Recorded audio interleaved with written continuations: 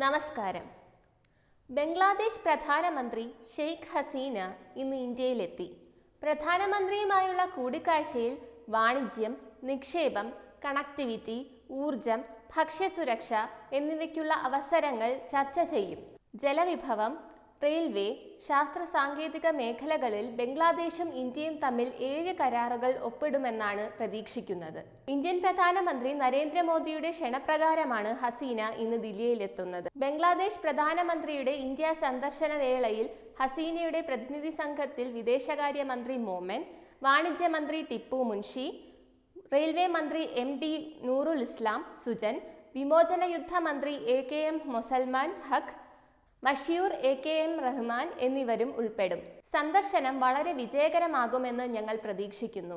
ഇത് ഞങ്ങളുടെ ലക്ഷ്യങ്ങൾ കൈവരിക്കാൻ സഹായിക്കും. ഹസീനയും പ്രധാനമന്ത്രി മോദിയും തമ്മിലുള്ള ചർച്ചയിൽ അതിർത്തി മാനേജ്മെന്റ് മയക്കുമരുന്ന് കള്ളക്കടത്ത് മനുഷ്യക്കടത്ത് നിക്ഷേപം മെച്ചപ്പെട്ട വ്യാപാര ബന്ധങ്ങൾ വൈദ്യുതി ഊർജം എന്നിവയുമായി ബന്ധപ്പെട്ട് കാര്യങ്ങൾ റിപ്പോർട്ട് ചെയ്യും. മേഖലാ സഹകരണം പൊതുനദികളുടെ ജലം പങ്കിടൽ ജലവിഭവം സുരക്ഷാ സഹകരണം എന്നിവയായിരിക്കും മുൻഗണന.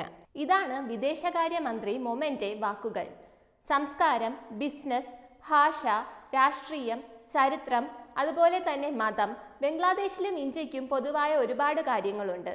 ബംഗ്ലാദേശിന്റെ സ്വാതന്ത്ര്യത്തിൽ ഇന്ത്യ നിർണായക പങ്ക് വഹിച്ചിട്ടുണ്ടെങ്കിലും ന്യൂഡൽഹിയും ധാക്കയും തമ്മിലുള്ള ബന്ധം ഒരിക്കലും പ്രത്യേകിച്ച് സൗഹാർദ്ദപരമോ പ്രശ്നരഹിതമോ ആയിരുന്നില്ല. കൂടാതെ പ്രധാനമന്ത്രി മോദിയുടെ ധാക്ക സന്ദർശനം ഇരു രാജ്യങ്ങളും തമ്മിലുള്ള ബന്ധം മെച്ചപ്പെടുത്തി.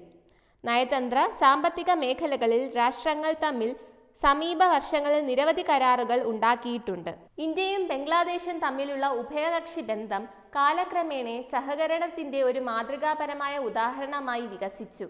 അതിൽ സാധ്യമായ പ്രശ്നങ്ങൾ കരാറുകളിലൂടെയും ഫലപ്രദമായ ചർച്ചകളിലൂടെയും രമ്യമായി പരിഹരിക്കപ്പെടുന്നു.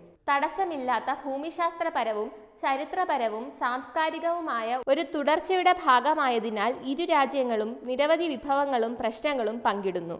രണ്ട് രാജ്യങ്ങളും പങ്കിടുന്ന ഏറ്റവും ശ്രദ്ധേയമായ വിഭവങ്ങളിലൊന്നാണ് നദികൾ. ഇന്ത്യയും ബംഗ്ലാദേശും അമ്പത്തിനാല് നദികൾ പങ്കിടുന്നതിനാൽ ഡൽഹിയും ധാക്കയും തമ്മിലുള്ള ഉഭയകക്ഷി സഹകരണത്തിന് ജല മാനേജ്മെന്റും വിതരണവും എന്ന വിഷയമാണ് മുൻഗണന.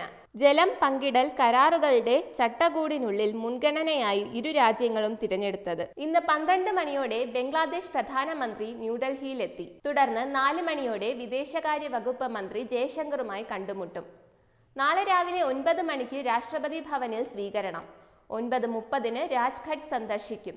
തുടർന്ന് പതിനൊന്നരയോടെ പ്രധാനമന്ത്രി മോദിയുമായി കൂടിക്കാഴ്ച നടത്തും. ഒന്ന് പത്തോടെ ധാരണാപത്രങ്ങളുടെ കൈമാറ്റം നടക്കും. പിന്നീട് വൈകുന്നേരം നാല് പത്തോടെ വൈസ് പ്രസിഡന്റുമായി കൂടിക്കാഴ്ച നടത്തും. തുടർന്ന് നാല് നാൽപ്പത്തഞ്ചോടെ പ്രസിഡന്റ് മുർമുവുമായി കൂടിക്കാഴ്ച നടത്തും. വെബ് ഡെസ്ക് തത്തുമൈ ന്യൂസ്.